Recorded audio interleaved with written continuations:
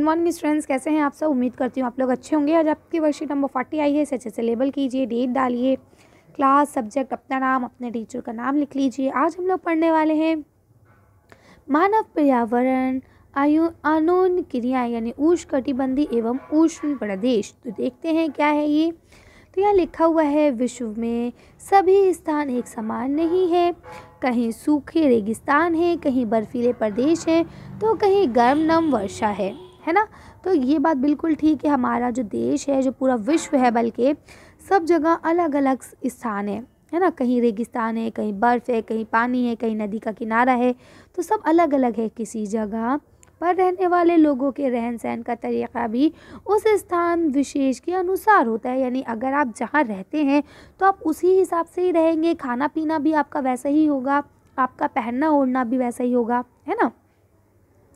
आने वाले कुछ कार्य पत्रिकाओं में हम विश्व के कुछ प्राकृतिक प्रदेशों उष्णकटिबंधी एवं उष्ण प्रदेश के निवासियों के बारे में पढ़ेंगे। उष्ण कटिबंधी प्रदेश कर्क रेखा और मकर रेखा के माध्यम स्थित हैं। आइए मिजोरम बेसिन के उदाहरण से जानते हैं। तो अमेज़ोन बेसिन जो है, मिजोरम करें सॉरी अमेज़ोन बेसिन के अकॉर्डिंग हम लोग इसे पढ़ने की कोशिश करते हैं। तो यह लिखा है, अमेज़ोन बेसिन में जीवन तो देखिए, आपको पता होगा कि हमारी ये पृथ्वी है है ना?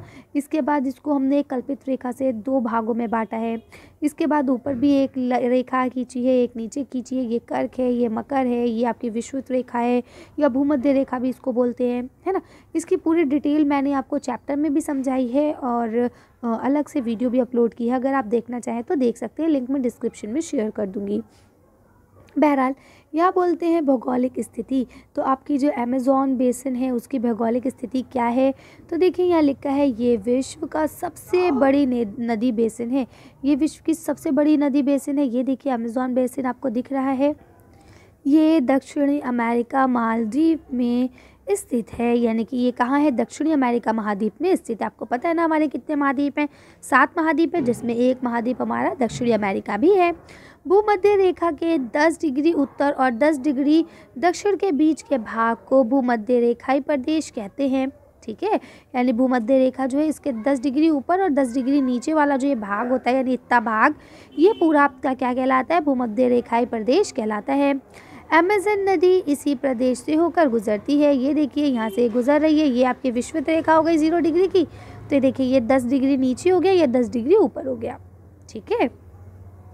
आगे देखिए लिखा यह नदी ब्राज़ील के भाग, पेरू के कुछ भागों और आपकी बोल्विया और इसके अलावा इक्वाडोर, कोलंबिया तथा वेन वेनेजूला के कुछ भागों से भी अप्रभावित होती है। यानी अलग अलग जगहों के नाम भी बता दिए गए हैं। ये देखिए इन इन जगहों से होती हुई ये गुज़रती है।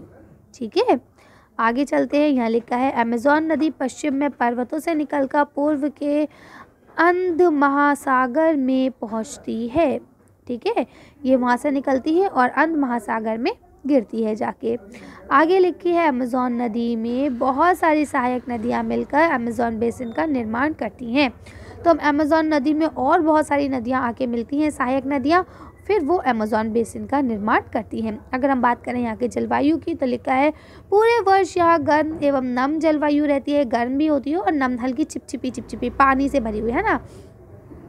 यहाँ का मौसम दिन और रात दोनों समय, दोनों ही समय लगभग समान रूप से गर्म एवं आर्द्र रहता है, ठीक है? यानी यहाँ का जो जलवायु है वह गर्म और आर्द्र जैसे यहाँ पे आपका जुलाई, अगस्त वाला जो महीना होता है ना, चिपचिपा वाला, चिपचिपाहट से भरा हुआ, ऐसा वहाँ पे रहता है, ठीक है? चाहे सर्दी हो, चाहे गर्मी हो, वहाँ जनरली सुबह और शाम यही मौसम रहता है।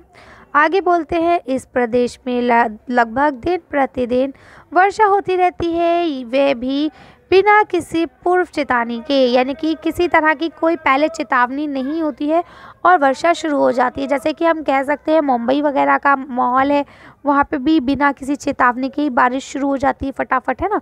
वहाँ के सब लोग वहाँ के सब लोग जो है आ, हमेशा अपने साथ अम्ब्रेला कैरी करते हैं। दिन का तापमान उच्च एवं आर्द्र अति आर्द्रता अधिक उच्च होती है, यानी कि हम कह सकते हैं कि दिन का तापमान जो है बहुत ज़्यादा गर्म होता है और आर्द्रता जो है वो भी बहुत ज़्यादा होती है। रात के समय तापमान कम होता है, लेकिन आर्द्रता वैसे ही बनी रहती है, यानी रात के समय तापमान तो कम हो जाता है, यानी मौसम थोड़ा ठंडा हो जाता है, लेकिन जो नमी है हवा में वो वैसे ही बनी रहती है। ये देखिए, यहाँ पर आपका लिखा हुआ है अमेज़ोन नदी की सहायक नदियों का पता लगाइए तो यहाँ आपको इसमें से देखना है और जो जो सहायक नदियाँ हैं, उनके बारे में आपको लिख देना है। ये आपकी किताब में बना हुआ होगा, वहाँ से आप लोग देख लेंगे। क्योंकि इसमें थोड़ा सा ब्लर भी है और हमें समझ में भी नहीं आएगा। खैर, चलिए आगे चलते हैं।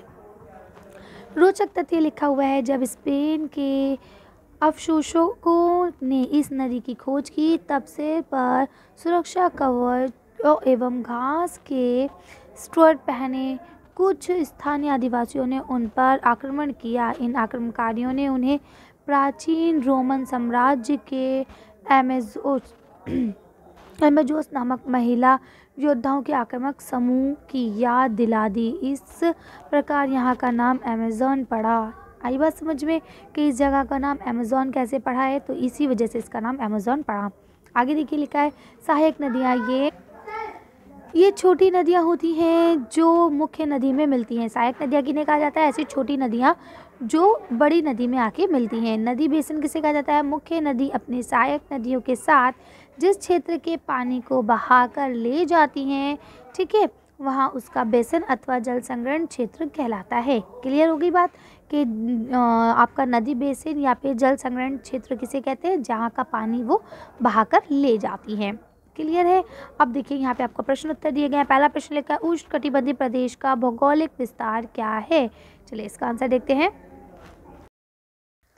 देखिए, अब आप इसका आंसर यहाँ से लिख सकते हैं। उष्ण कटिबंधीय प्रदेश कर्क रेखा और मकर रेखा के मध्य में स्थित है। यानी हम ये भी कह सकते हैं कि ज़ीरो डिग्री से टेन डिग्री उत्तर में और दस डिग्री दक्षिण में, है ना? ये भी हमने पढ़ा था तो आप इसे भी लिख सकते हैं, वरना ये आंसर भी ठीक है। अमेजॉन बेसिन किस महाद्वीप में स्थित है?